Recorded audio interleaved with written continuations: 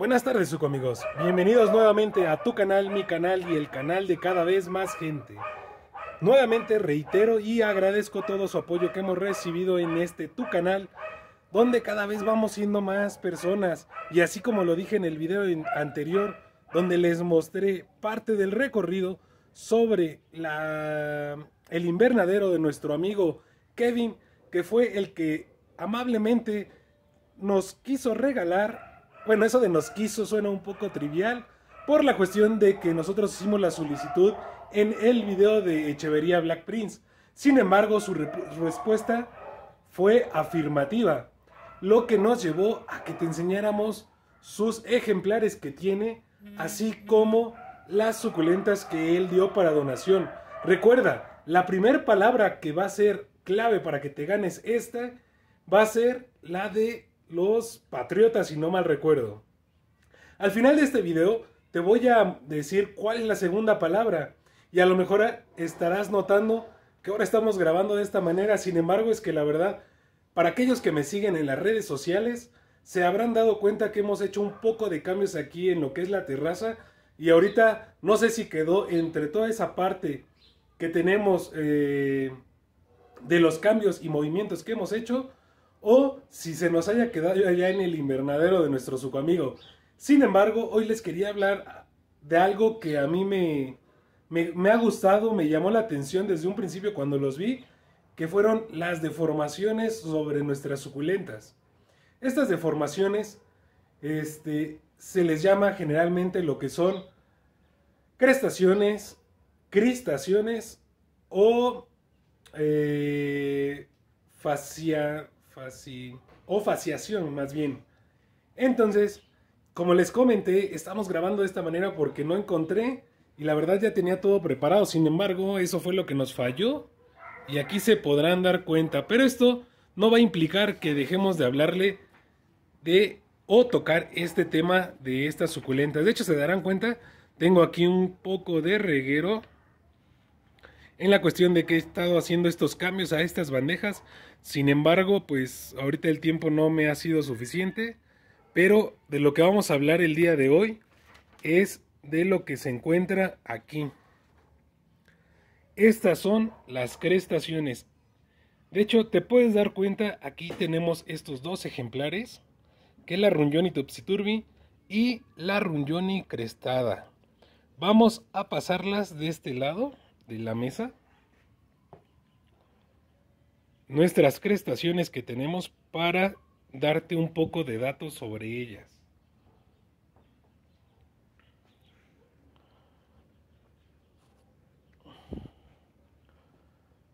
Aquí tenemos nuestras tres crestaciones, de las cuales les voy a comentar un poco sobre estas. Bueno, primeramente, como se darán cuenta, estos son unos ejemplares muy hermosos. ¿Por qué? Porque son poco comunes en algunos lugares. En otros pueden ser un poquito más este, visibles o fáciles de obtener. Entonces, empecemos por la cuestión de la crestación. Como sabemos, la cuestión de la crestación, como en muchos de los animalitos, llegan a tener estas crestaciones y se ven de esta forma la cual nos indica que tuvo una deformación nuestra suculenta, donde podemos ver los tallos pues relativamente aplanados en este caso, pero la diferencia es en la forma de sus hojas. Sus hojas son muy compactas y van creciendo una tras otra. En este ejemplo quizá no se notará mucho en lo que es la runjoni, pero aquí es donde más la vamos a notar en la este, Echevería pulidonis.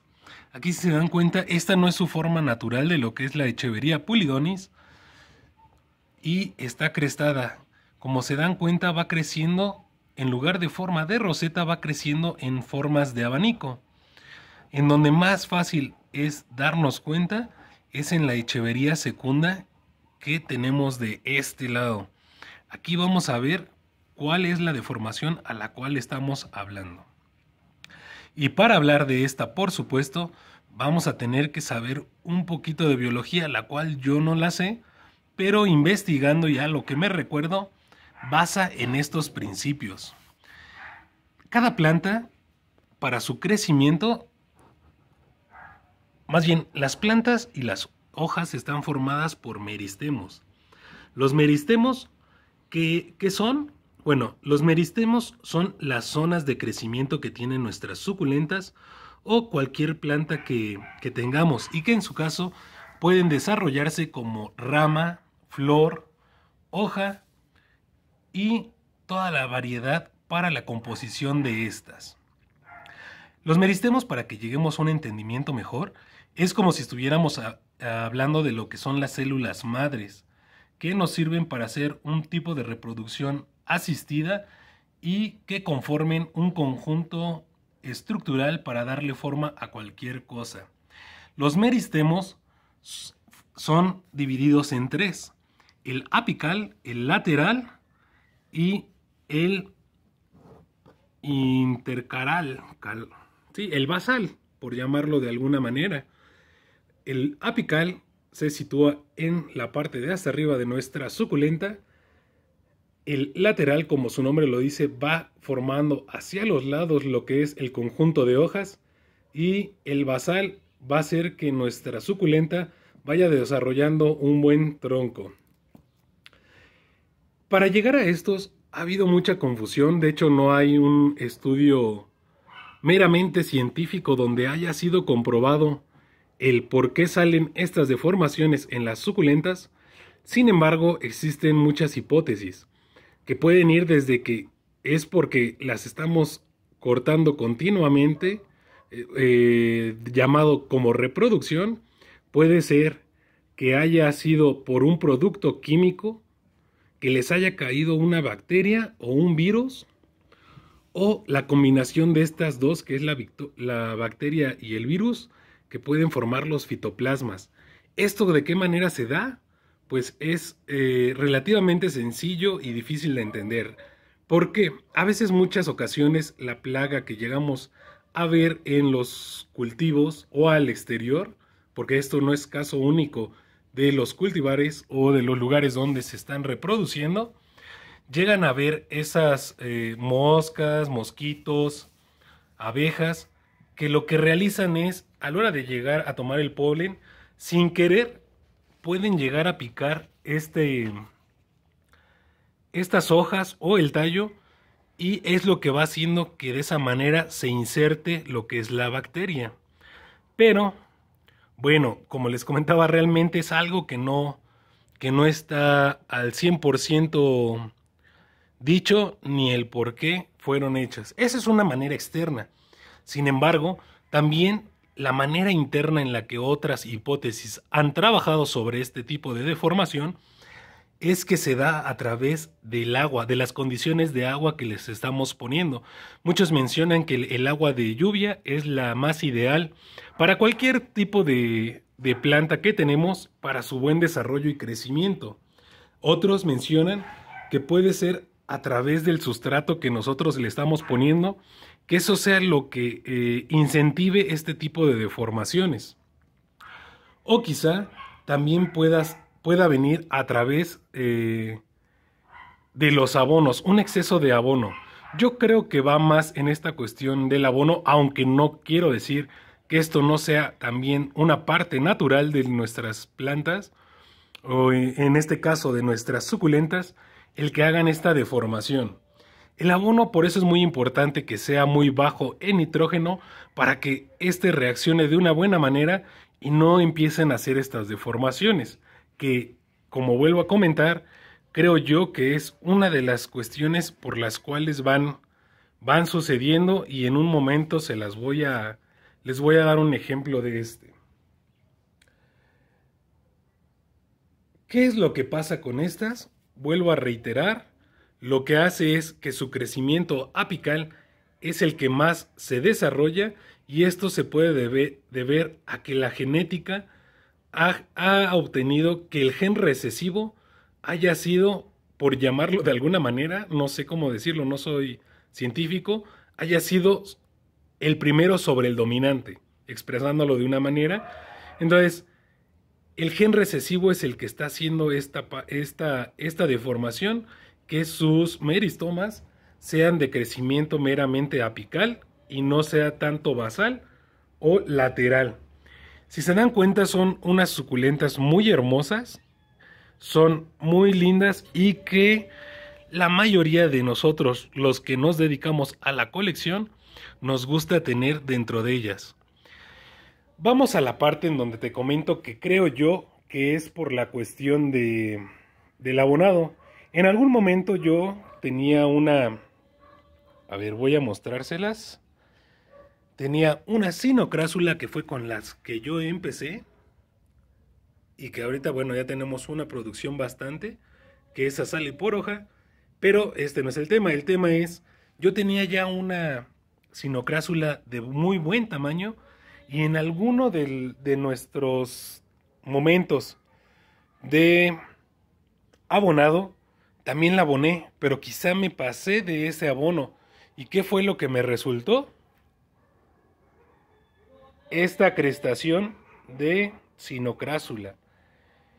Otra de las cosas que es eh, muy delicado en estas cuestiones de las de las crestaciones o de la deformación de nuestra suculenta es que las hojas que, están sobre la base del tronco son muy sensibles, muy fácilmente se caen. Aquí no se, no se nota el por qué, más bien no se nota que se caigan. ¿Por qué? Les voy a comentar. Estas ya están sumamente dañadas en la cuestión de que en algún momento las dejé de regar y las dejé en el sol. Y aparte es que ya tuvieron su floración. Esta es la floración de una sinocrásula. Pero vamos a ir a nuestra terraza frontal.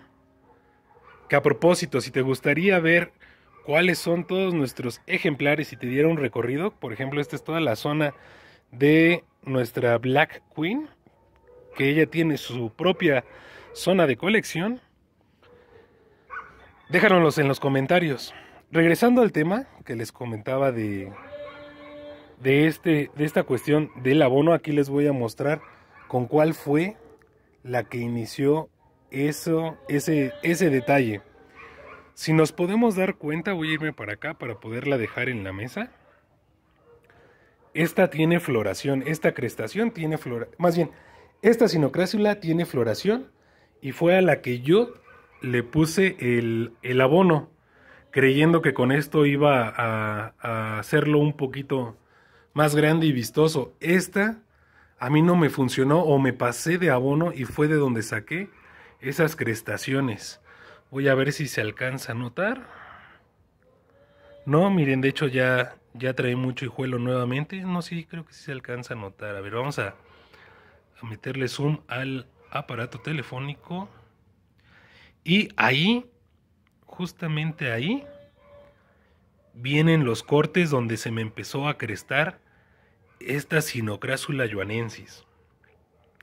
Entonces, como les comento, yo creo que viene generalmente dentro de los viveros, va siendo a partir de un abono en exceso o un, eh, un exceso de nitrógeno en nuestra suculenta. Entonces volvemos al punto de, son muy hermosas, sí, claro, son poco comunes, al menos donde yo radico, sí son poco comunes. Las puede hacer, eh, existe de, dos maneras que se, se deforman. La externa, por medio de algún agente externo que nos llega a caer dentro de nuestra suculenta, o de forma interna, que son las hipótesis. Pero no dejemos a un lado de que todas son meramente hipótesis, no son cuestiones que han sido comprobadas. También otra forma de obtener estas es la reproducción por hoja. Esta reproducción por hoja también realiza en sus momentos, o llamarlo de una forma natural, estas crestaciones. Aquí tenemos lo que es un ejemplo de crestas, de, de comienzos de crestación de una esta es la... Ay, no me acuerdo ahorita. Bueno, si me, si me llego a recordar ahorita el nombre de cuál es esta. Ah, es la Fred Ives. Sí, sí, sí. Es la Fred Ives la que empezó a crestar. Aquí tenemos el ejemplo de, el mejor ejemplo de una crestación natural. Donde yo realicé la reproducción por hoja de esta Fred Ives y una salió de forma normal y la otra empezó el proceso de crestación. Entonces, amigos, para quedar claros nuevamente sobre este punto, es que son muy hermosas. Si eres coleccionista, creo que no debe de faltar en tu colección. Algunos preguntarán, ¿el tallo es muy muy delgado como se alcanza a ver en la Echevería Segunda? No, también puede tener un tallo más amplio y aquí está nuestro mejor ejemplo sobre esta crestación. Aquí tenemos una crestación que es muy hermosa. Está más grande que la otra. Y el propósito del video era cambiarla para que empezara a tomar esto. Entonces, tenemos eh, detalles en las hojas, son mucho, al ser mucho más delgadas, no las podemos exponer tanto al sol porque son más fáciles de quemarse. Otro detalle es, después, otra pregunta que yo me haría es, si yo tengo una crestación, ¿puede que en algún momento se vuelva a una suculenta normal? Aquí está la respuesta, es que sí. Y no es porque sea la segunda, segunda, perdón. Aquí tenemos la Runyoni que ya está en su proceso normal. ¿Qué es lo que podemos... La otra pregunta. Oye, Christopher, pero si yo quiero seguir con el proceso y que se quede como una crestación, ¿qué es lo que vamos a hacer? Vamos a retirar la suculenta que está empezándose a formar bien o que genéticamente viene bien formada. Y con eso vamos a impedir que el resto empiece a tomar su forma normal y seguir manteniendo nuestras crestaciones. Entonces, su amigo, espero que haya quedado claro. Es un video eh, bastante corto que les quise hacer sobre esto. No puedo hacerlo completamente porque no tengo en qué apoyarlo y no tengo ahorita mi ayudante principal. Más que mi ayudante, mi compañera, mi confidente y todo todo lo que representa el amor en una pareja. Entonces, les hice este pequeño video, espero les guste. Bueno, su amigo, si te gustó el contenido de este video, donde quise llegar a unos puntos que te fueran de referencia para saber el por qué la crestación, de dónde surge, qué, qué factores son los que inciden en ella y sobre todo te dieras cuenta que son muy bellos, regálanos un like, comparte y sobre todo, dale a la campanita para que puedas tener esas notificaciones al momento. Haciendo un paréntesis antes de despedirme, es que te quiero agradecer nuevamente ese tiempo y dar, recordarte la mecánica para que te lleves esas suculentas. La primer punto es que se van a quedar dos en el Estado de México directamente en Toluca y dos van a ser enviadas a las personas que se la ganen dentro de la República. Y esto es porque ahorita no tenemos envíos, no hacen envíos y la verdad sería una manera de dañar a la suculenta y que quizá no llegue en condiciones óptimas o de la mejor manera. La segunda es que para ganártela ya tienes dos respuestas. La primera te la recuerdo que es los Patriots y la segunda que es el Toluca de mis amores. ¿Esto cómo va a ser? Para que sea de una manera confiable y fidedigna, vas a tenerte que ir cuando tenga las tres respuestas, ingresar a la página de Suculentas Black Prince, donde yo voy a poner la pregunta de cuáles son las tres respuestas para que te ganes tu suculenta. Esto va a suceder el día 8 de noviembre y es muy fácil. Cuando esté esta pregunta en las redes sociales, tú vas a contestar con las respuestas, mandarnos un screenshot o una toma de captura donde estés suscrito en el canal y tengas al menos tres videos vistos desde el principio hasta el final. Si te das cuenta, es algo muy sencillo de eh, la mecánica. pero sobre todo va a ser muy fidedigna, porque así tú vas a comprobar que realmente te la ganaste o que realmente alguien más fue el afortunado de ganársela.